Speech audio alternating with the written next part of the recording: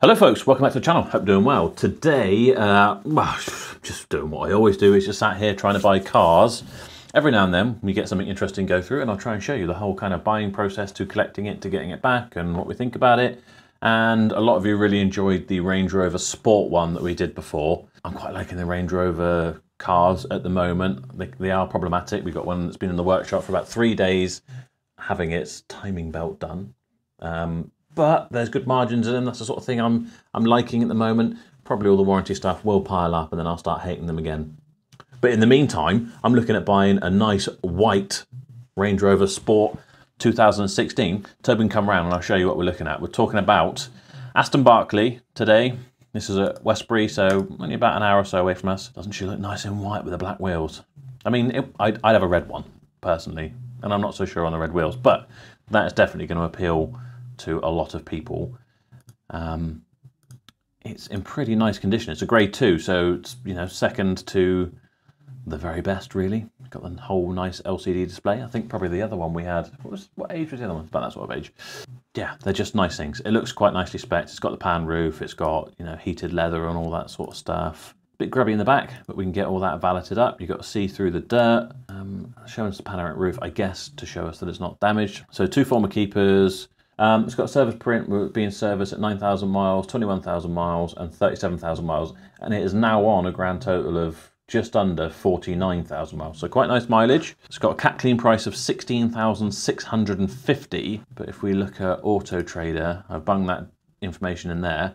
All right, it's only got an 18 out of 100 Auto Trader retail rating. That's as we discussed before. That kind of tells us how popular and in demand it is in our area within 50 miles of me. Not everyone in, you know, just me specifically. So that might be a bit higher for me than it would be in London because it'd probably be like zero in London because you can't really insure them. That said, I'm sure someone's going to jump in the comments now and tell me that Land Rover are now offering to make contributions to your insurance to ensure that you can get insured and they've come out of their own insurance product. Yes, I'm just generalizing. It's quite expensive at the moment. The retail valuation for this is about 24 grand, just over, without taking the specification into consideration. Um, so I think you'd aim it just under a little bit maybe. It's telling me that the part exchange valuation is 15,360.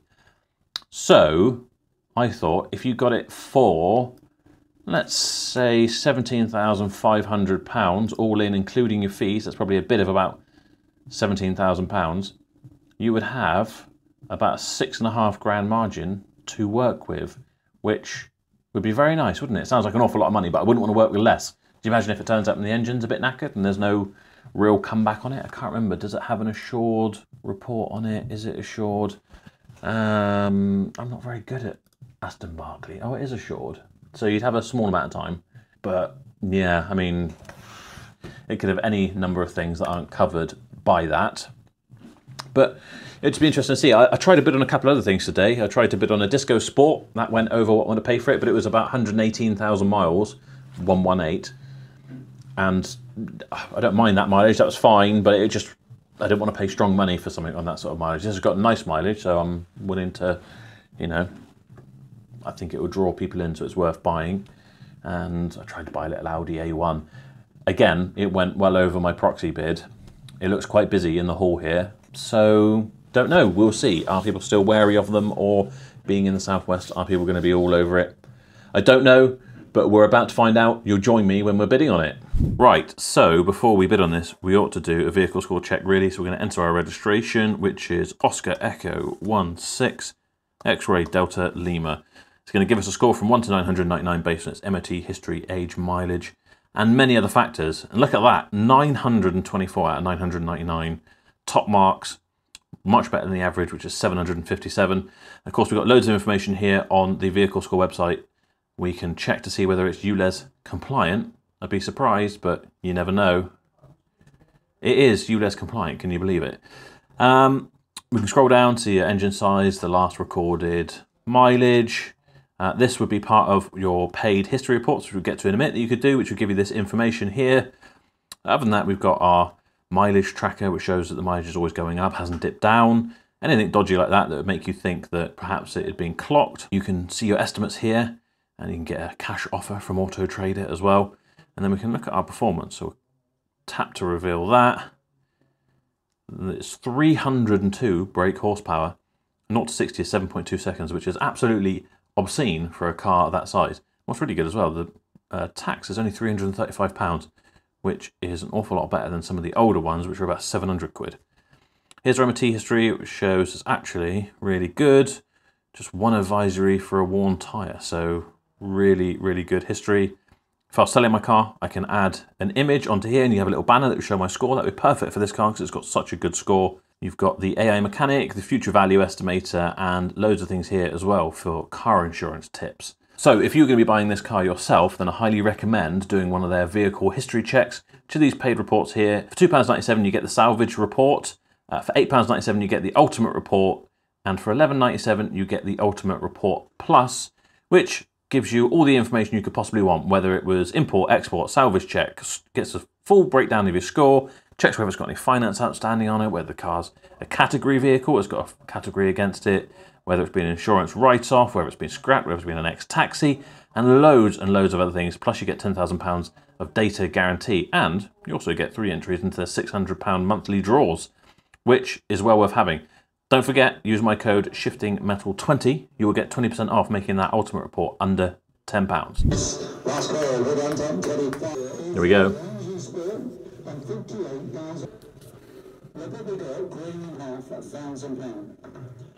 Starting cheap enough.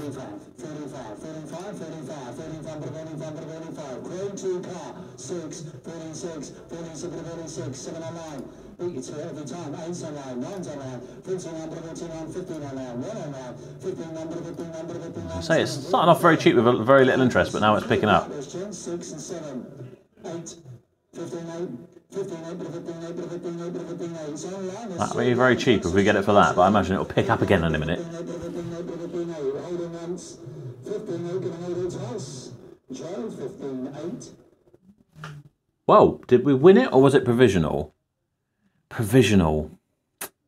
So, 15.8, we were the highest bid, but it's a provisional bid, it tells me on here. So let's have a look. So it's telling us. Well, the other thing I didn't mention before when we were looking at this as well, it's come from Mercedes-Benz Southwest. So, you know, it's a good dealership. Someone's come in and obviously bought some nice BMW. Not BMW. That'd be weird if they bought BMW from Mercedes. You know what I mean. My brain, no good. I meant they've obviously been and bought a nice Mercedes. So we will have to wait and hear if we get a phone call on that. But let's do the math. 15.8. I think it would probably be on something that... Mm, it's going to be about 450 in fees, I think. And let's say some fuel for collecting it. Let's say another 500 quid on top. So we're looking at 16. How much did I pay for it? 16.3? Is that right? Yeah, yeah, yeah. So it'd be about 16.3, which would mean let's take out the pricing for any costs incurred. Let's round down the price to a more realistic 23,995 we'd be looking at a measly £7,778 potential margin. And I would retire and go away for the rest of the year. We'll see. I imagine they will phone me and say they want more money. But let's just remind ourselves the cap clean was 16,650 and what do we bid 15.8? We're not that far off. I mean, I was willing to go more, so I might round up to 16 if they say. But I do know of Aston Barclay, they are not the quickest at getting back to you on your provisional bids. So, in fact, I'll probably have to chase them. I don't think they've ever phoned me. BCA will be straight on the phone pretty much, like, yeah, they want more money, or no, they don't. I'm going to have to wait to hear on that one. So, um, yeah, Toby's not going to be hanging around with his camera when the phone call goes, sadly. So I'll catch up when I know more and give you an update. Bye-bye. Down at Westbury Auctions, here to pick up a Range Rover. Looks like I got a Bible with it. The maze of cars. Ah, found it. There we go. Look at that thing. Very, very nice. What lights we got?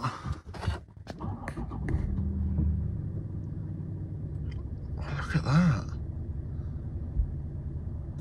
Diesel exhaust fluid low high pressure ones. Service required. Don't call people names very often. But why, why park there? I mean, it looks like a lot of room, but it's not.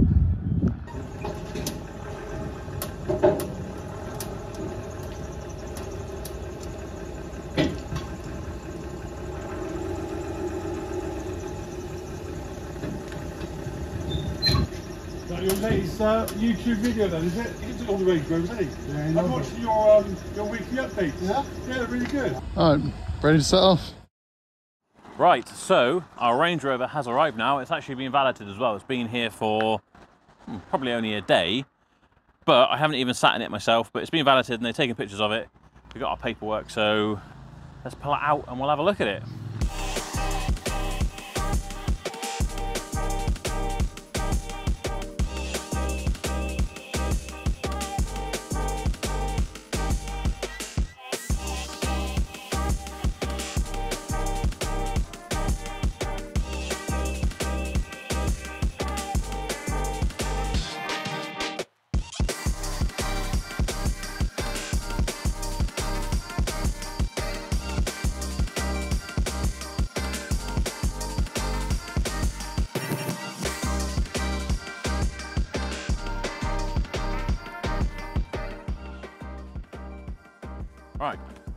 I'm going to leave the windows open because it's absolutely scorching in there. But it does look good, doesn't it? It's another one where it like lowers itself down, which makes it look like, you know, know, some kind of lowered car. Anyway, uh, it will pump back up again, but it does look nice in white. I don't think it's quite as specky as the black one that we've got round the other side, or maybe even the one that we had from a dad, but still a very nice thing. Has it got a power boot? Of course it does. Look at that. I don't think this. No, sports, they're not seven seat, are they? But it all looks pretty nice. Like, what is it, 49,000 miles? That's. Oh. I think it's got one of those. There's a button here, as if to show a tow bar coming out. But maybe it's not fitted. Yeah, there is. There is a tow bar there. Sort of. Oh, power.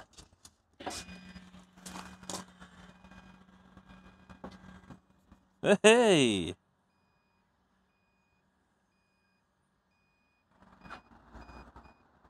That's pretty cool, actually. I like that a lot better than a swan neck because you have a swan neck because you can take it off and then it won't look like that.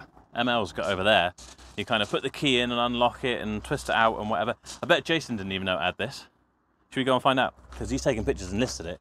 This is the sort of stuff he needs to know.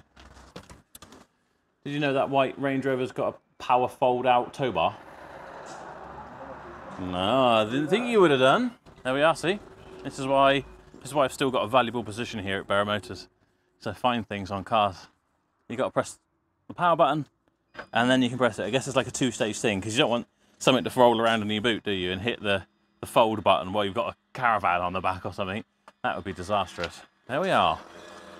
So much, so many electronic motors in this thing.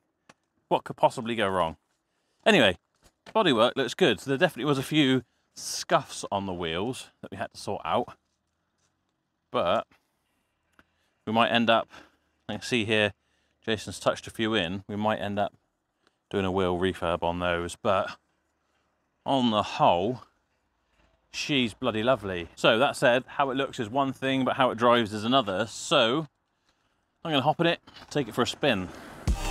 I gotta say, the more I drive these Range Rover Sports, the more I like them. This was the car that I've been thinking about for the last five years, probably. I thought, oh, that's the next sort of car. If I was to buy one for myself, which I very rarely do because I end up selling it because that's just the kind of mindset I've got, this would have been it because I just think they look an awful lot of car for the money and they still look nice and modern and imposing, just smart. They've got all the technology you could possibly want, and they're just really nice and comfortable as well. It would suit me perfectly. You can still put the dogs in the back. It's comfortable. It's certainly not slow. So yeah, there could be one on the cards in the future, but who knows? I can never seem to keep hold of any cars. How snappy that command shift gearbox is, and the fact that this thing will do 0 to 60 in 7.2 seconds, I think Jason was telling me. It's just obscene. I know the SVRs are an awful lot quicker, but this is just the kind of like entry level three litre V6 diesel. I'm probably got that wrong as well because they do a petrol, a two litre petrol hybrid and that sort of thing. It's going to be very interesting to see how this performs now that it's listed because maybe buying these things, you know, under the 50,000 mile mark is, you know, the knack to dealing with them. Hopefully you get less problems. The last one we had was snapped up within a week at most. Will this one be the same or will it just be that it was just a coincidence? It was just pure luck with the last one. I honestly don't know. Time will tell. This one also seems to do the auto access level thing, which I don't particularly like. I'm sure I can figure out how to turn it off, but it's not going to be much point because the person who buys it may like it, so we'll leave it on until I have to figure it out. But otherwise, I have no complaints whatsoever. I'm going to put this into sport mode.